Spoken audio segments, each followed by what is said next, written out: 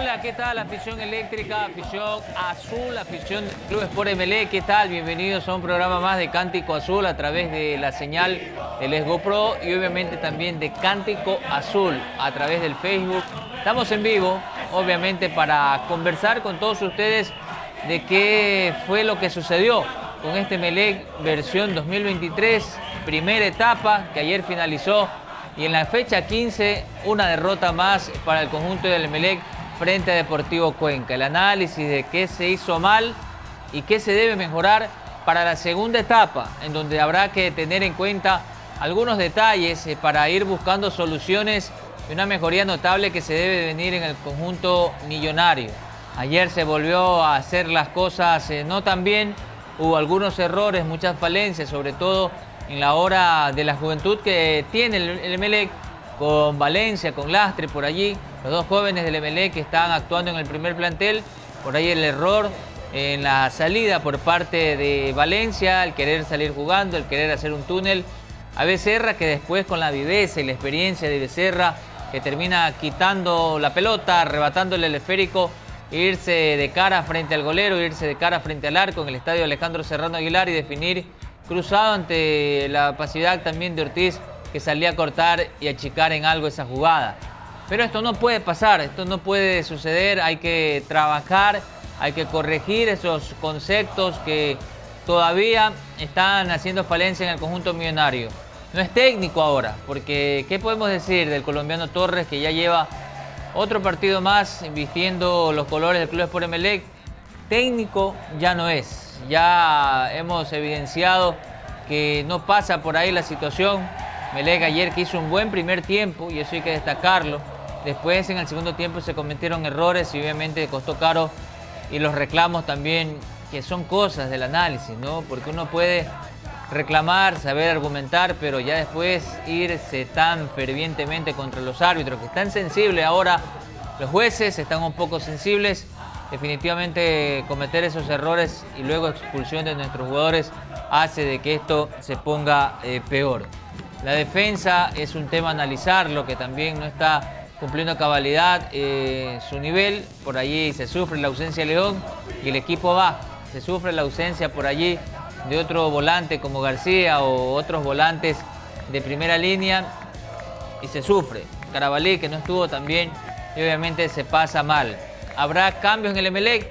Seguro que sí. Yo entiendo que van a haber algunos movimientos, algunos jugadores saldrán, otros tendrán que incorporarse. Habrá otros foráneos, seguramente que sí. Hablan muchísimo de la presencia de Michael Estrada. Habrá que determinar hasta cuánto es posible la llegada de este deportista. Y obviamente también otros aspectos a considerar que deben de cambiarse en el conjunto millonario. Que se hizo mal.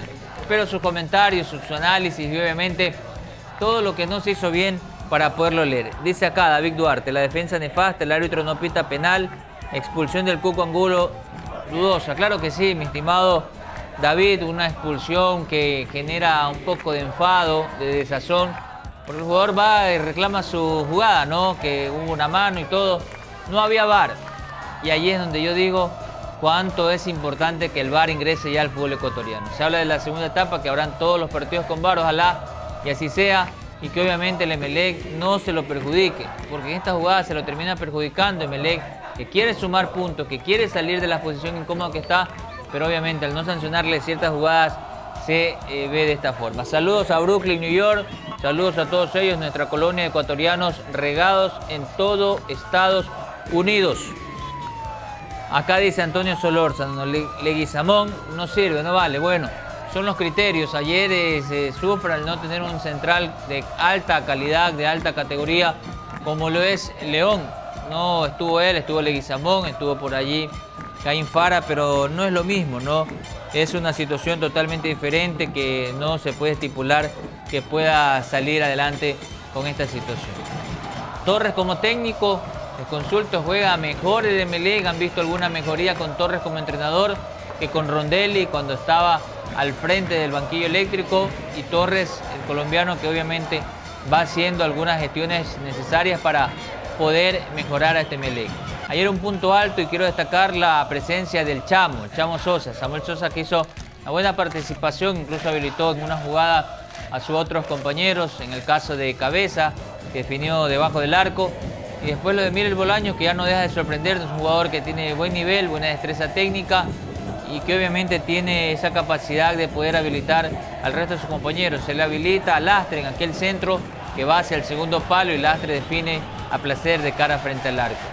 Hay que seguir eh, mejorando, hay que seguir un poco potenciando y obviamente pedirle a nuestros jugadores que empiecen a mejorar su nivel. Romario Caicedo tampoco sirve, nos escribe Antonio Solórzano, saludos a todos ellos que están viéndonos acá en el en vivo que estamos haciendo para nuestra gente en Cántico Azul y obviamente en esta paralización que vamos a tener el mes que vamos a tener de vacaciones, por decirlo de esa manera, habrán algunas novedades en el MLEC, seguramente algún trabajo, una mini pretemporada que se podrá realizar, que se podrá buscar algún parámetro para que se pueda llegar, yo analizo a un nivel óptimo, un nivel que pueda irse conociendo que el equipo no puede estar en esta posición incómoda y tiene que salir del fondo del abismo en el cual se encuentra. Debe de irse buscando algunas atenuantes para ir eh, buscando las soluciones y obviamente no quedar de esa manera, porque hoy lo que se está viviendo es una posición realmente incómoda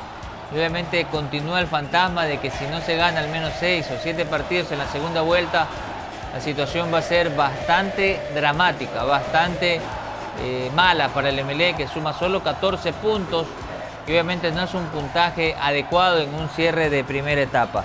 Allí con algunas novedades, así que nosotros vamos a siempre estar informando a través de la portal web de Cántico Azul, la portal web de Let's Go Pro, todas las novedades del MLE, sus entrenamientos, sus trabajos, el día a día del bombillo, siempre por esta página, así que Dale like, comparte a Cántico Azul en todas sus redes sociales, Instagram, Facebook, YouTube, Twitter, Instagram, TikTok. Ya estamos en TikTok, así que puedes recomendarles también a tus panas para que nos sigan y obviamente seguir creciendo en la comunidad eléctrica, la comunidad del bombillo, el Club Sport MLE, que obviamente hará noticias y que dentro de todo vamos a estar el próximo jueves. Este jueves no, la próxima semana con el partido de Melec frente a Danubio por Copa Sudamericana 19 horas. Así que Fuerte abrazo, que tengan un excelente resto de noche.